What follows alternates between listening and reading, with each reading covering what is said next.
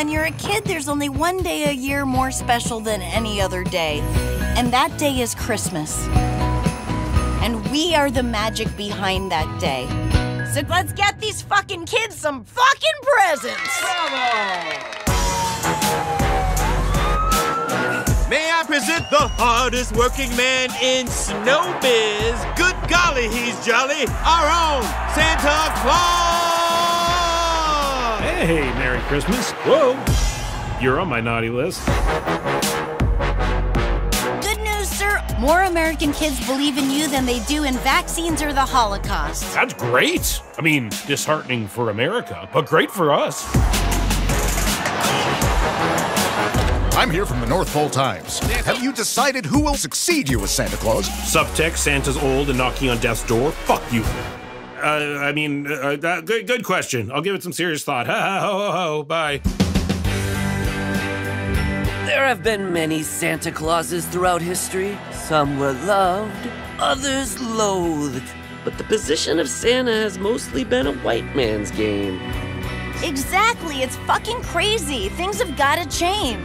My advice to you is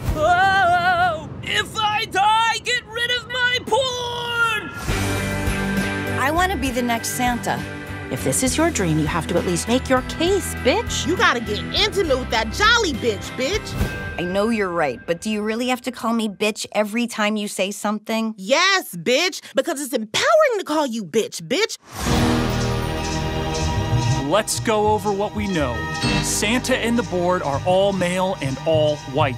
They play golf, drink, smoke cigars, say things like, don't ever marry your mistress. Just so you know, the women of the North Pole make fun of one of your dicks. Have fun wondering whose it is. What I need to learn is how to bro out with these guys. You know, shoot the shit, do shots, shoot shots of shit.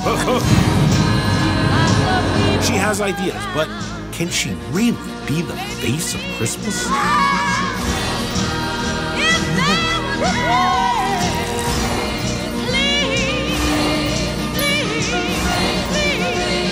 I'll be named successor, die trying.